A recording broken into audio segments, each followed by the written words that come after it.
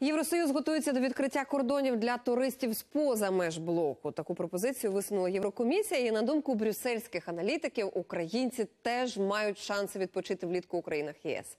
Як розкаже Олена Абрамович. Час відчиняти двері для туристів з усього світу. З такою заявою виступили в Єврокомісії. Там пояснили, ситуація у багатьох країнах поліпшується, та й кампанії з вакцинації показали прогрес. Тож певним групам населення з поза меж Шенгену можна дозволити в'їзд. Єврокомісія пропонує пом'якшити обмеження на необов'язкові поїздки до ЄС і дозволити в'їзд без вагомих причин не тільки для всіх, хто прибуває з країн зі сприятливою епідеміологічною ситуацією, а й для тих, хто отримав останню рекомендовану дозу вакцини, затвердженої в Євросоюзі. Дозволити в'їзд пропонують тим, хто імунізувався щонайменше за 14 днів до прибуття, і жителям країн, де ситуація з захворюваністю краще ніж у середньому в ЄС, тобто не більше ніж сотня випадків на 100 тисяч населення за два тижні. В Україні останній показник понад 350, Тож до зелених списків наша держава поки що не потрапляє. Проте до середини літа, коли запрацює ця схема, ситуація може змінитися. Сезон відпусток тут від середини липня до кінця серпня. Тож на цей період є ймовірність, що громадяни України, щеплені затвердженими в ЄС вакцинами, матимуть право на в'їзд до країн Євросоюзу, незалежно від того, яким буде рівень захворюваності в Україні. Проте купувати квитки поки не варто, бо така схема відкриття кордонів це лише пропозиція. Її ще мають обговорити та затвердити, і можливо внести корективи.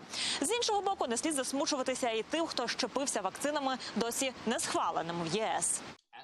Російський спутник і китайський Синофарм теж невдовзі можуть схвалити. Наскільки мені відомо, проблема зі спутником це просто брак інформації в Європейській медичній агенції. Щодо Синофарм, не знаю, але всі вакцини від AstraZeneca були затверджені в єС. Українців наразі імунізують трьома видами вакцин: це AstraZeneca, яку постачають з Індії як Covishield, та з Кореї як AstraZeneca SK Bio, а також американський препарат Pfizer та китайський коронавак. Проте навіть на щеплених іноземців можуть чекати неприємні сюрпризи. У Єврокомісії хочуть перестрахуватися на випадок поширення нових штамів. Ми пропонуємо новий механізм екстреного гальмування, який знизить ризики потрапляння мутованого вірусу до ЄС. Це дасть змогу країнам-членам скоротити до мінімуму всі поїздки із уражених країн на період необхідного для проведення відповідних санітарних заходів. Окреме право за країнами-членами Єврокомісія залишає на додаткові вимоги, тобто за бажання держави можуть вимагати в приїжджих відбути тижневу самоізоляцію.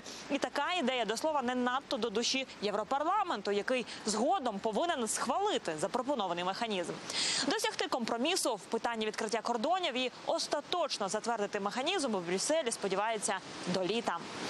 Олена Абрамович, Європейське бюро телеканалу Інтер.